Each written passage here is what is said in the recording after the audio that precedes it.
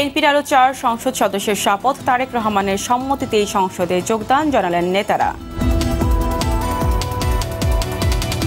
আমাদের মাননীয় ভারপ্রাপ্ত চেয়ারম্যান তারেক রহমানের নির্দেশ ক্রমেই আমরা আজকে শপথ গ্রহণের জন্য সংসদ ভবনে আমরা প্রবেশ করতে যাচ্ছি। রাজধানীর বসিলে জঙ্গি আস্তানা র্যাবের কমান্ডো অভিযানে নিহত দুই জিজ্ঞাসাবাদের জন্য বাড়ির মালিক সহ আটক চার। তাপদাহে পড়ছে। সারা দেশ খরতাপ থাকবে আরও দুই তিন দিন। দক্ষিণ, পশ্চিম বঙ্গোপসাগরের শক্তি সঞ্চয় করছে ঘূর্ণিঝড় ফণী এবং বিশ্বকাপের সেমিফাইনালে ওঠা বাংলাদেশের জন্য কঠিন হলেও অসম্ভব নয় বললেন মাশরাফি। লক্ষ্য অর্জনে সবাইকে মানসিকভাবে শক্ত হওয়ার আহ্বান।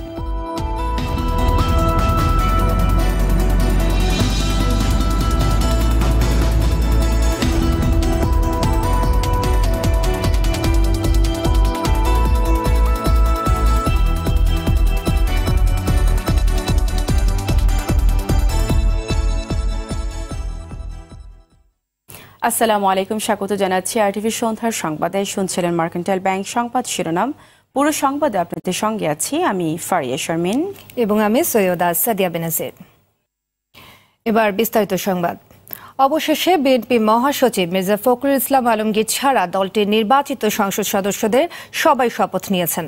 বিকেল পাঁচটার দিকে এর আগে শপথ নেওয়া জাহিদুর রহমানকে সঙ্গে নিয়ে শপথ নিতে সংসদে আসেন দলটির চারজন সংসদ সদস্য। পরে সদ্য শপথ নেওয়া উকিল আব্দুল সাত্তার ও হারুনুর রশিদ জানান, দলের ভারপ্রাপ্ত চেয়ারম্যান তারেক রহমানের সিদ্ধান্ত মেনেই শপথ নিয়েছেন তারা। জানাচ্ছেন সোহেল রানা। ভাই ভাই। সংসদ সদস্য হিসেবে শপথ নিলেন বিএনপির চার নির্বাচিত জনপ্রতিনিধি। তবে শপথ নেননি বিএনপি মহাসচিব মির্জা ফখরুল ইসলাম আলমগীর। শপথ গ্রহণ শেষে বিএনপির দুই এমপি জানান, দলের ভারপ্রাপ্ত চেয়ারপারসন তারেক রহমানের সম্মতিতে শপথ নিয়েছেন তারা। জনাব তারেক রহমানের নির্দেশ ক্রমেই তার সিদ্ধান্ত ক্রমেই আমরা আজকে জাতীয় সংসদে যোগদান করেছি এবং জাতীয় সংসদে যোগদান করার মৌলিক উদ্দেশ্য হচ্ছে, লক্ষ্যই হচ্ছে যে বাংলাদেশে আজকে সুশাসন নাই, আজকে বাংলাদেশে গণতান্ত্রিক শাসন নাই, আজকে বাংলাদেশে আইনের শাসন নাই, আজকে বাংলাদেশের প্রকৃত জনপ্রতিনিধিদের শাসন নাই যে কারণে এই কথাগুলো এই অবস্থাগুলো জনগণের সামনে তুলে ধরার জন্য জাতীয় সংসদে আমরা কথা বলার জন্য প্রবেশ করেছি। বিএনপির এমপিরা বলেন সংসদে নতুন নির্বাচন দেওয়ার দাবিসহ বিএনপি চেয়ারপারসনের মুক্তি চাইবেন তারা। আমরা চাই পুনর্নির্বাচন দিয়ে অবশ্যই গণতন্ত্রকে প্রতিষ্ঠিত করতে হবে এবং দেশনেত্রী বেগম খালেদা জিয়াকে মুক্তি দিতে হবে। এর আগে শপথ নেন বিএনপির আরেক নির্বাচিত সংসদ সদস্য Zahidur Rahman. Sohel Rana R TV Dhaka. দলীয় সিদ্ধান্তে এবং ভারপ্রাপ্ত চেয়ারপারসন তারেক রহমানের নির্দেশে এই শপথ নিয়েছে বিএনপির সংসদ সদস্যরা। সন্ধ্যায় গুলশানে বিএনপি চেয়ারপারসনের রাজনৈতিক কার্যালয়ে সংবাদ সম্মেলনে একথা কথা জানান দলের মহাসচিব মির্জা ফখরুল ইসলাম আলমগীর। এই সিদ্ধান্ত তার নিজের ক্ষেত্রে প্রযোজ্য জানিয়ে তিনি বলেন, যথাসময়ে তিনি শপথ নেবেন। গণতন্ত্র পুনরুদ্ধার ও বেগম খালেদা জিয়ার মুক্তি আন্দোলনকে ত্বরান্বিত করতে রাজপথের পাশাপাশি সংসদে সীমিত আকারে হলেও কথা বলার জন্যই দলীয়ভাবে এই সিদ্ধান্ত নেওয়া হয়েছে বলে জানান মির্জা ফখরুল। ভোটাধিকার ও গণতন্ত্র পুনরুদ্ধার দেশনেত্রীর মুক্তির দাবিতে সংসদে কথা বলার সীমিত সুযোগকে কাজে লাগিয়ে সংসদ ও রাজপথের সংগ্রামকে যুগবদ্ধভাবে চালিয়ে যাওয়াকে আমরা যুক্তিযুক্ত মনে করছি।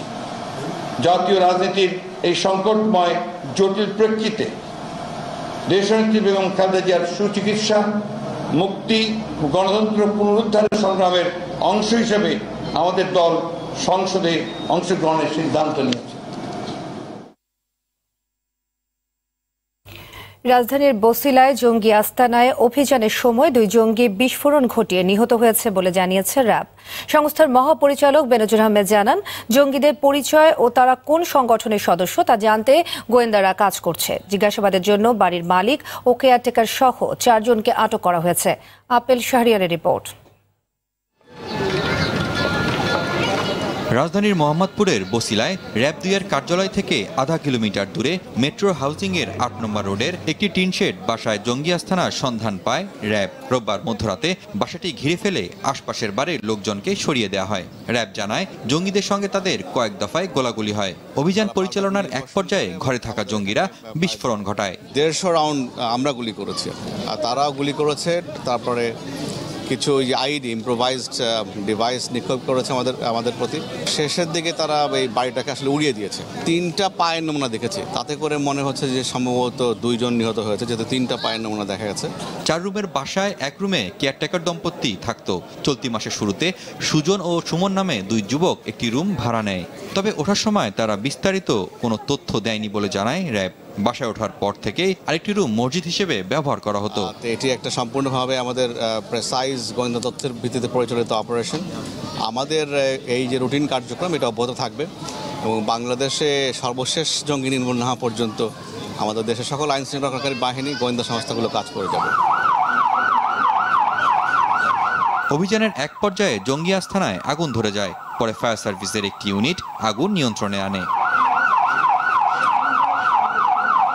জঙ্গি আস্তানার পাশের বাড়িতে বসবাসকারীরা বলছেন গেল কয়েকদিন ধরে তারা দুই যুবককে ওই বাড়িটিতে আসা যাওয়া করতে দেখেছেন। হ্যাঁ দেখছিলাম আমরা দুইটা হুজুর। হ্যাঁ দেখছিলাম। চাপদারিয়ালা ছিল। বউ রেপের সামনে বন্ধ হয়েছে পরে আমরা মনে করেন ওই দিকে পাশে গেছি।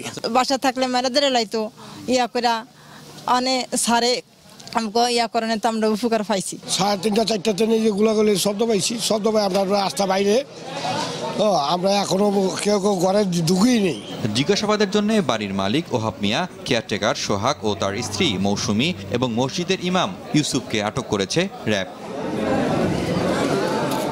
Apple Shahriar RTV Dhaka. শ্রীলঙ্কায় বোমা হামলার ঘটনায় বাংলাদেশের নিরাপত্তা জোরদার ও নজরদারি বাড়ানোর বিষয়ে আলোচনা হয়েছে মন্ত্রিসভায়। শিশু জায়ন সহ শ্রীলঙ্কায় নিহতদের স্মরণে শোক প্রস্তাব গৃহীত হয় বৈঠকে। প্রধানমন্ত্রী শেখ হাসিনার সভাপতিত্বে প্রধানমন্ত্রী তেজগাঁও কার্যালয়ে মন্ত্রিসভার বৈঠকে পবিত্র রমজান মাসে সরকারি, আধা সরকারি এবং স্বায়ত্তশাসিত প্রতিষ্ঠানের জন্য সকাল নয়টা থেকে বিকেল সাড়ে তিনটা পর্যন্ত অফিসের সময়সূচি নির্ধারণ করা হয়। প্রতিদিন দুপুর একটা পনেরো মিনিট থেকে একটা ত্রিশ মিনিট পর্যন্ত পনেরো মিনিট জোহর নামাজের বিরতি থাকবে। পরে মন্ত্রী পরিষদ বিভাগের সিনিয়র সচিব, সমন্বয় সংস্কার ডক্টর মোহাম্মদ শামসুল আরিফিন সচিবালয় বৈঠকের বিষয়ে সাংবাদিকদের ব্রিফ করেন। তিনি বলেন, ব্যাংক, কোম্পানি, বিমা, আর্থিক প্রতিষ্ঠান, ডাক, রেলওয়ে, হাসপাতাল ও সরকার পরিচালিত কলকারখানা সহ অন্যান্য জরুরি সেবাসমূহ তাদের নিজস্ব সময়সূচি অনুযায়ী চলবে। জায়ান হ্যাঁ জায়ানের জন্য আরেকটি হলো শ্রীলঙ্কার সরকার এবং নাগরিকের জন্য। আমি তাহলে মন্ত্রিসভা দ্ব্যর্থহীনভাবে অভিমত ব্যক্ত করেন যে, মাননীয় প্রধানমন্ত্রী শেখ হাসিনার নেতৃত্বাধীন বাংলাদেশ সরকার সন্ত্রাস ও জঙ্গিবাদ নির্মূলে জিরো জিরো টলারেন্স নীতিতে বিশ্বাসী। এই সরকার যে কোনো সহিংস, সাম্প্রদায়িক ও সন্ত্রাসী কর্মকাণ্ডের তীব্র বিরোধিতা করে। আমাদের বাংলাদেশে এই জন্যে আমাদের যে কাঠামো আছে, এটার মধ্যে আমাদের নজরদারি, সতর্কতা অনেক বৃদ্ধির জন্য বলা হয়েছে। প্রচণ্ড গরমে নাকাল জনজীবন। দেশের একটি বড় অংশ জুড়ে মাঝারি তাপদাহের সাথে বাতাসের আর্দ্রতা জনজীবন অসহনীয় করে তুলেছে। আজও দেশের সর্বোচ্চ তাপমাত্রা রেকর্ড করা হয় রাজশাহীতে চল্লিশ ডিগ্রি সেলসিয়াস আর রাজধানীতে পারদ ছুঁয়েছে সাঁত্রিশের ঘর। আবহাওয়া অফিস জানায়, খরতাপ থাকবে আরও দুই তিন দিন। আতিকার রহমানের রিপোর্ট। সপ্তাহখানেক ধরে ঢাকাসহ সারা দেশের তাপমাত্রা বেড়ে চলেছে। ঢাকায় পারদ ওঠানামা করছে সাঁত্রিশ থেকে উনচল্লিশ ডিগ্রির মধ্যে। এর সাথে বাতাসে জলীয় বাষ্পের পরিমাণ পঞ্চাশ ভাগের বেশি থাকায় গরম অনুভূত হচ্ছে বিয়াল্লিশ থেকে তেতাল্লিশ ডিগ্রির মতো। এ কারণে হাঁসফাঁস জনজীবন। গত কয়েকদিন থেকে টেম্পারেচার থার্টি সিক্সের উপরে। আর তার উপরে ঢাকা শহরে যে জ্যাম আপনারা তো দেখতেই পাচ্ছেন এই জ্যামের জন্য আরও মানে অবস্থা পুরো খারাপ। মানে গাড়ি নড়তেছেই না এক জায়গায় বিশ মিনিট যেমন সকালে ক্লাস মিস হয়ে যাচ্ছে আমাদের এরকম হচ্ছে আর কি। একটু স্বস্তির আশায় মানুষের সঙ্গী ছাতা ছুটছেন ঠান্ডা পানি ও শরবতের দোকানে। আমি জানি না ঠিক কতটুকু স্ট্রং হলে এই ধরনের তাপমাত্রা সহন করা যায়। অনেক যানজট গাড়ির ভিতরে মানুষ আতঙ্ক হয়ে গেছে। তার জন্য মানুষ অনেক কিছু না পায়, অনেক পানি খাইতেছে, শশা খাইতেছে। তাপপ্রবাহে বিপর্যস্ত রাজশাহীবাসীও। দুদিন ধরে মৌসুমের সর্বোচ্চ তাপমাত্রার রেকর্ড এই জেলার। সোমবার চল্লিশ ছুঁয়েছে জেলার তাপমাত্রা। যা আগামী দিনে আরও বাড়তে পারে। প্রচণ্ড গরমে ঘরে ঘরে দেখা দিয়েছে জ্বর ডায়রিয়া সহ নানা রোগ। এর আগেও গরম পড়েছে কিন্তু এবারের গরমটা একটু অন্যরকম মনে হচ্ছে। খুব গরম লাগে। ইয়া কারেন্ট চলে যায় ক্লাসে। ক্লাস করতে খুব কষ্ট হয়। তাপদাহে নাজেহাল রংপুর চট্টগ্রাম সহ দেশের বেশিরভাগ অঞ্চলে জীবনযাত্রা। তো গরম মনে করেন একটু রিক্সা চালাইলে ঘামি যাচ্ছি। বর্তমান যে রংপুরের অবস্থাটা মানে প্রচুর প্রচুর গরম। যদি একটু বৃষ্টি হইতো বা আবহাওয়াটা একটু ঠান্ডা হইতো আমরা খুব মানে চলাফেরা খুব শান্তি রকম করতে পারতাম। আবহাওয়াবিদরা জানান আরও দুই তিন দিন থাকবে তাপদাহ। রাজশাহী অঞ্চলে যার তীব্রতা বেশি হবে। করে রাজশাহী এবং খুলনার কিছু অঞ্চলে আপনার তাপমাত্রা চল্লিশ ছেড়ে যেতে পারে। সেক্ষেত্রে হয়তো কিছু কিছু জায়গায় সিভিয়ার হিট ওয়েভ চলে আসতে পারে। এটা হয়তো আগামীকাল পরশু আরও দুই দিন অব্যাহত থাকবে। যেহেতু একটা সাইক্লোন সিস্টেম আছে এই জন্য নতুন করে আপনার ওয়েস্টার্লি ইফেক্ট তেমন নাই এবং নতুন করে ক্লাউড ফর্মেশন হওয়ার সম্ভাবনা অনেকটা কম। এদিকে বঙ্গোপসাগরে ঘূর্ণিঝড় ফণি দেশের উপকূল থেকে প্রায় দেড় হাজার কিলোমিটার দূরে অবস্থান করে শক্তি সঞ্চয় করছে। ফণি কোথায় আঘাত করবে তা এখনও নিশ্চিত করে বলা যাচ্ছে। না। যেহেতু এটা অনেক দূরে আছে আমরা একজাক্ট লোকেশন এখনও বলতে পারছি না কারণ এটা অনেক টাইম নেবে অনেক সময় এর গতিপথ চেঞ্জ হবে। কারণ হচ্ছে এটা যেহেতু বেতে আছে আরও শক্তি সঞ্চয় হবে। এখন যে সাইক্লোন অবস্থা আছে এর থেকে হয়তো সিভিয়ার ভেরি সিভিয়ার হওয়ার সম্ভাবনা আছে। তাই এটা যে কোনো সময় এটা টার্ন নিতে পারে। তীব্র গরমের মধ্যে একটু স্বস্তির খবর হলো সিলেটে গতকালের বৃষ্টি এলাকার পরিবেশ কিছুটা শীতল করেছে। খুবই গরম ছিল। যেমন বাচ্চাদের পড়াশোনা করতে বা আমাদের চলাফেরা করতে খুবই কষ্ট হয়েছে। Atika Rahman, R TV, Dhaka. ক্রমশ শক্তি বাড়িয়ে ভারতের উত্তর পশ্চিমের দিকে এগুচ্ছে ঘূর্ণিঝড় ফণি। ঘন্টায় একশো পঁচাশি কিলোমিটার বেগে বুধ বা বৃহস্পতিবার আছড়ে পড়তে পারে তামিলনাড়ু ও অন্ধ্রপ্রদেশে। দেশটির আবহাওয়া ভবন জানায়, অন্ধ্রের মসলিপত্তনম থেকে এক হাজার কিলোমিটার এবং চেন্নাইয়ের দক্ষিণ পূর্ব থেকে আটশো আশি কিলোমিটার দূরে ফণির অবস্থান। সোমবার সন্ধ্যা থেকে এর গতি বাড়ছে। তবে মঙ্গলবার সন্ধ্যার পরই স্পষ্ট হবে ঠিক কখন কোথায় আঘাত হানবে ফণি। এদিকে ঘূর্ণিঝড়ের প্রভাবে কেরালায় বৃষ্টি হচ্ছে। മുന്നറിയിപ്പ് നൽകുന്നു.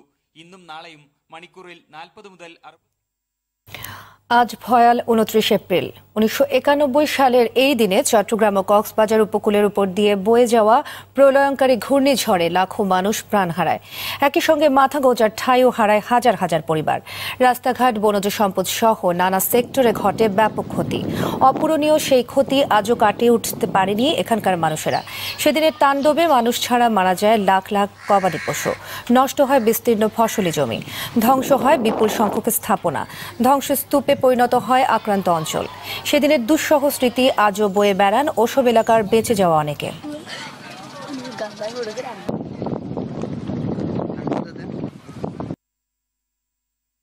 নুসরাত হত্যার বিষয়ে আরও তথ্য সংগ্রহে ঘটনাস্থল ফেনীর সোনাকাজ ইসলামিয়া মাদ্রাসা পরিদর্শন করেছে পুলিশ ব্যুরো অফ ইনভেস্টিগেশন পিবিআইয়ের একটি দল। বিকেলে বিশেষ পুলিশ সুপার মোহাম্মদ ইকবালের নেতৃত্বে তারা মাদ্রাসার শিক্ষক, শিক্ষার্থী ও অভিভাবকদের সঙ্গে কথা বলেন।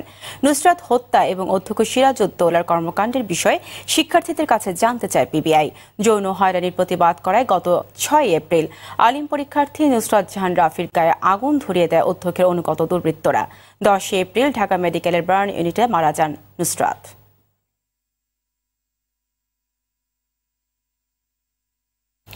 আতঙ্ক কাটেনি ফেনীতে নিহত মাদ্রাসা ছাত্রী নুসরাতের পরিবারের। তাদের দাবি, বিভিন্ন মহলের চাপ আছে মামলা তুলে নিতে। স্থানীয় প্রশাসন বলছে, বিষয়টি নিয়ে পুলিশের সঙ্গে আলোচনায় বসবেন তারা। আর পুলিশ বলছে, ঘটনার পর থেকে পরিবারটিকে নিরাপত্তা দেওয়া হচ্ছে। তবে ভবিষ্যতে সিদ্ধান্ত ঊর্ধ্বতন কর্তৃপক্ষ দেবে। ফেনী থেকে আজাদ মালদারের তথ্যচিত্রে জানাচ্ছেন ওভি ইসলাম। নুসরাত হত্যার ঘটনায় মাদ্রাসার অধ্যক্ষ সিরাজউদ্দৌলাকে প্রধান আসামি করে আটজনের নাম উল্লেখ করে আর অজ্ঞাত পরিচয়ে আরও চার পাঁচজনকে আসামি করে মামলা দায়ের করা হয়। দশ এপ্রিল থেকে মামলাটির দায়িত্ব পায় পিবিআই।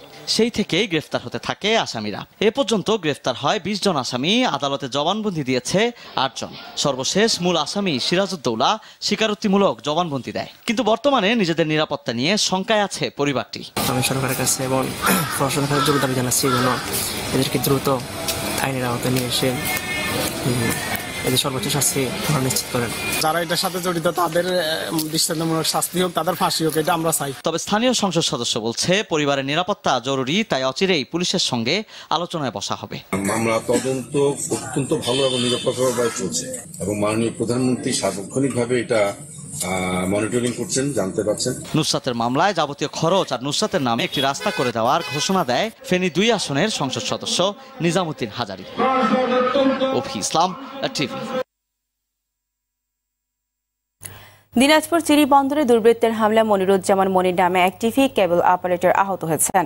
তাকে দিনাজপুর মেডিকেল কলেজ হাসপাতালে ভর্তি করা হয়েছে। রোববার রাতে আমতলী বাজার থেকে বাড়ি যাওয়ার পথে দুর্বৃত্তরা তার উপর হামলা চালায়।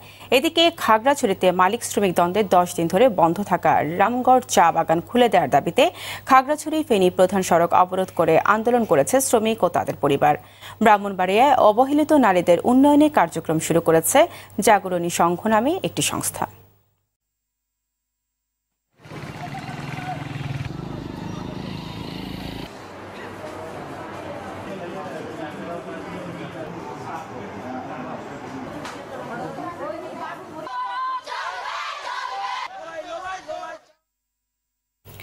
তুরাক তীর ঘেঁষে গড়ে ওঠা অবৈধ স্থাপনা উচ্ছেদ অভিযান অব্যাহত রয়েছে। সকাল থেকে টঙ্গীর বিসিক এবং রাজধানীর উত্তরখান এলাকায় স্থাপনা উচ্ছেদ করে বিআইডব্লিউটিএ। এ সময় কয়েকটি ভবন ও বালু মহাল গুড়িয়ে দেওয়া হয়। পরে উচ্ছেদকৃত মালামাল বিক্রি করা হয় নিলামে। অভিযানে নেতৃত্ব দেন বিআইডব্লিউটিএ যুগ্ম পরিচালক এ কে এম আরিফুদ্দিন ও নির্বাহী ম্যাজিস্ট্রেট মুস্তাফিজুর রহমান। তারা জানান, ঢাকা শহরের চারপাশ দখল ও দূষণমুক্ত করতে অভিযান অব্যাহত থাকবে। গেল এক মাসের অভিযানে ছোট বড় তিন হাজারের বেশি স্থাপনা উচ্ছেদ করা হয়েছে বলে জানান নির্বাহী ম্যাজিস্ট্রেট।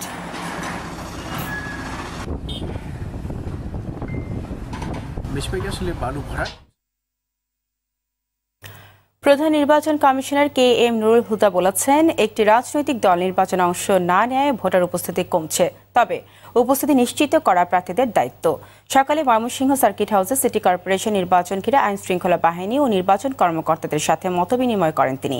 পরে সিইসি সাংবাদিকদের বলেন, ময়মনসিংহ সিটি কর্পোরেশন নির্বাচন অবাধ ও সুষ্ঠু হবে। এই জন্য প্রয়োজনীয় প্রস্তুতি নেওয়া হয়েছে। ভোটের সময় সঠিকভাবে দায়িত্ব পালন করতে কর্মকর্তাদের নির্দেশ দেন সিইসি।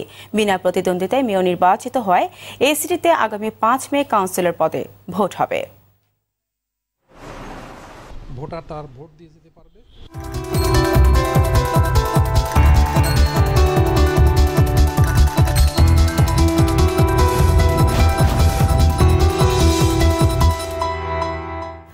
মধুমতি ব্যাংক বাণিজ্য সংবাদ। পুঁজিবাজারের দরপতনের প্রতিবাদে প্রতীকী অনশন কর্মসূচি পালন করেছেন চট্টগ্রামের বিনিয়োগকারীরা। সকাল এগারোটায় আগ্রাবাদের স্টক এক্সচেঞ্জ অফিসের সামনে এ কর্মসূচি পালিত হয়।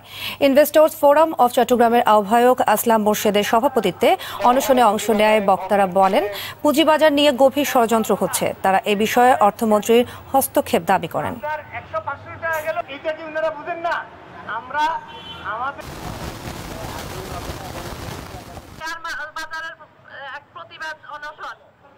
খেলার সংবাদ। ক্রিকেট বিশ্বকাপের সেমিফাইনালে ওঠা হবে বাংলাদেশের জন্য বড় অর্জন। এটি যদিও কঠিন, তবে অসম্ভব নয়। এই লক্ষ্য অর্জনে সর্বোচ্চ চেষ্টা করবে দল। মিরপুরের শের বাংলা স্টেডিয়ামে ইংল্যান্ড বিশ্বকাপ নিয়ে এইভাবেই নিজের ভাবনা তুলে ধরলেন টাইগার দলনায়ক মাশরাফি বিন মর্তুজা। এই জন্য দলের সবাইকে মানসিকভাবে শক্ত হওয়ার আহ্বান জানালেন তিনি। বিস্তারিত জানাচ্ছেন অরণ্য গফুর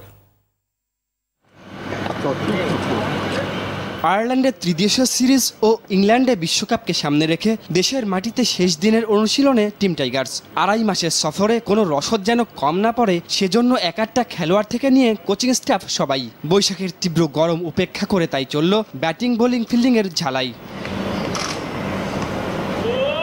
নিজেদের দুর্বলতা কাটাতে কোনো কার্পণ্য নেই, দলের সিনিয়র সদস্য মুশফিক রিয়াদ থেকে শুরু করে সৌম্য লিটনদের। ভুল ধরিয়ে দিতে অকৃপণ, স্টিভ রোডস ও নীল ম্যাকেনজিও। অভিজ্ঞতা সমৃদ্ধ দলের উপর আস্থাশীল তাই টাইগার দলপতি। না ইম্পসিবল তো কোনো কিছুই না।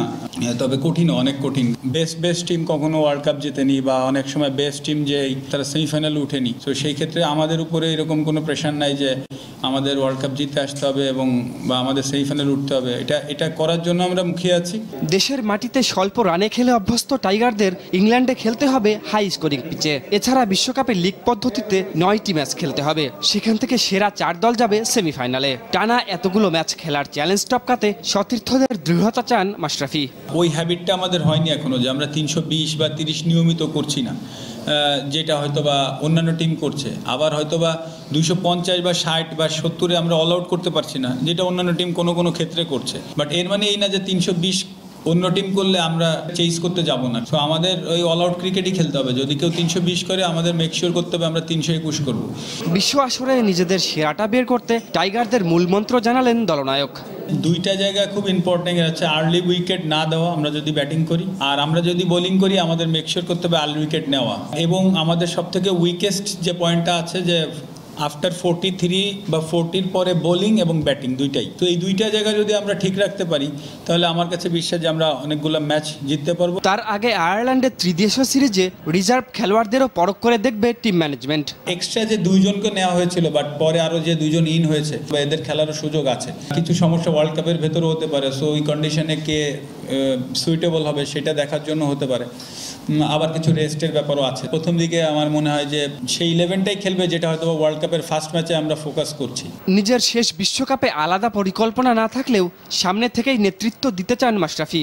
সেজন্য যে কোনো অবস্থায় পাশে চান দেশবাসীকে।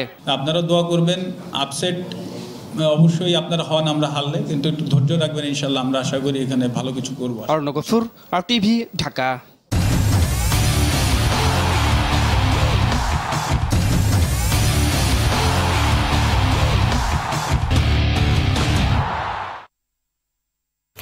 Madhumati bank, Bangamata আন্তর্জাতিক গোল্ড কাপের খবর। বঙ্গমাতা আন্তর্জাতিক অনূর্ধ্ব উনিশ নারী গোল্ড কাপ ফুটবলের ফাইনাল নিশ্চিত করল লাওস। বঙ্গবন্ধু স্টেডিয়ামে প্রথম সেমিফাইনালে কিরগিজস্তানের বিপক্ষে সাত এক গোলে জয়ের মধ্য দিয়ে ফাইনালে উঠল লাওস। এদিকে দ্বিতীয় সেমিফাইনালে কাল মাঠে নামবে বাংলাদেশ, প্রতিপক্ষ লাওস। বঙ্গবন্ধু জাতীয় স্টেডিয়ামে খেলাটি শুরু হবে সন্ধ্যা ছটায়। ভালো ফুটবল খেলে জয়ের প্রত্যাশা বাংলাদেশ কোচ গোলাম রাব্বানি ছোটনের।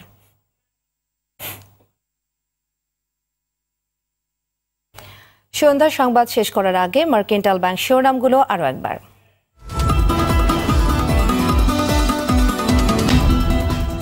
বিএনপির আরও চার সংসদ সদস্যের শপথ তারেক রহমানের সম্মতিতেই সংসদে যোগদান জানালেন নেতারা।